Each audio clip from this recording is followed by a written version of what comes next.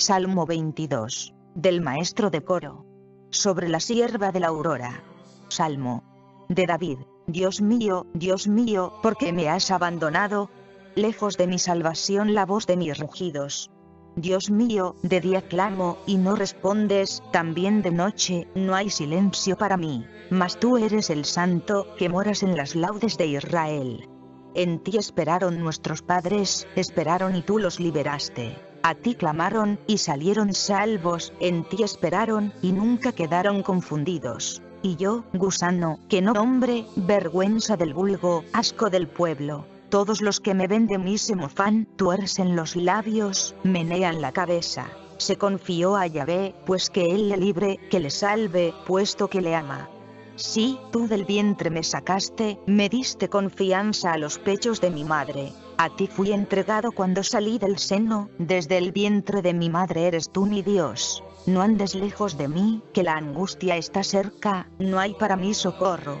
Novillos innumerables me rodean, acósanme los toros de Basán. Ávidos abren contra mí sus fauces. Leones que desgarran y rugen. Como el agua me derramo, todos mis huesos se dislocan, mi corazón se vuelve como cera, se me derrite entre mis entrañas. Está seco mi paladar como una teja y mi lengua pegada a mi garganta. Tú me sumes en el polvo de la muerte. Perros innumerables me rodean, una banda de malvados me acorrala como para prender mis manos y mis pies. Puedo contar todos mis huesos. Ellos me observan y me miran, repártense entre sí mis vestiduras y se sortean mi túnica. Mas tú, ya ve, no te estés lejos, corre en mi ayuda, oh fuerza mía. Libra mi alma de la espada, mi única de las garras del perro. Sálvame de las fauces del león, y mi pobre ser de los cuernos de los búfalos.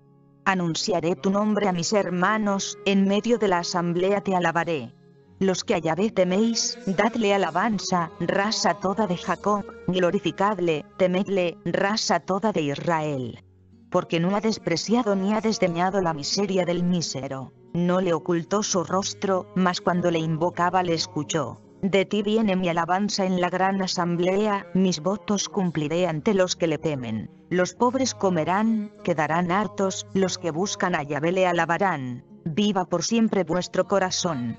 Le recordarán y volverán a Yahvé todos los confines de la tierra, ante él se postrarán todas las familias de las gentes, que es de Yahvé el imperio, del Señor de las naciones. Ante él solo se postrarán todos los poderosos de la tierra, ante él se doblarán cuantos bajan al polvo. Y para aquel que ya no viva, le servirá su descendencia. Ella hablará del Señor a la edad venidera, contará su justicia al pueblo por nacer. Esto hizo él.